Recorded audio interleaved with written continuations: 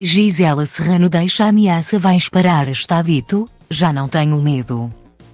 Gisela Serrano deixou uma mensagem enigmática ao início da noite desta sexta-feira.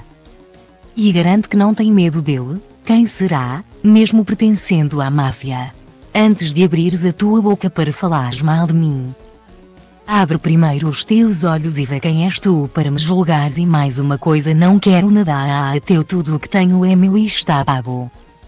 E já não tenho medo nenhum de ti e nem com quem disses que andas mafia da pesada nem anda com quem quiseres fruta podre cai sozinha.